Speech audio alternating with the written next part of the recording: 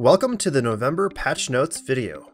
In this update, we have drastically improved the way players can create their own custom games.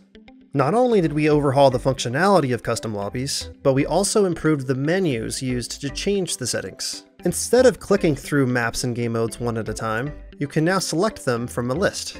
Many of the game modes here have subcategories. As you can see, the deathmatch category includes all kinds of deathmatch variants. Other modes have presets too, like King of the Hill, where you can select the standard mode, Super King of the Hill, and Ranked. Ranked presets are also available for Team Deathmatch, Domination, and Takedown. You'll find that there are a lot more game mode presets to choose from. Moving over to the Settings tab, you'll find that the settings have been divided into four categories Map Options, Mode Options, Team Options, and Player Options. You'll now find a new button next to most of the available settings. Simply put, selecting this button will allow you to assign different traits and settings to each team.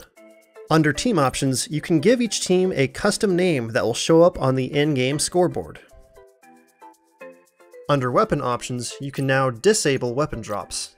The weapon drops option determines whether or not players drop their weapon when they get killed. These new features open up a vast amount of customizability with room for more creativity than ever before. Lastly, there's the File Options button on the bottom left of the options box.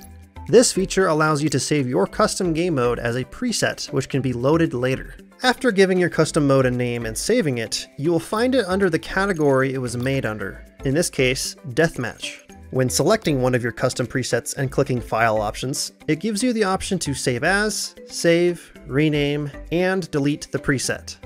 Everyone at 1047 Games is very excited about the potential that asymmetric game modes and new settings bring to the table. We can't wait to see what the community comes up with. We'll see you in the arena.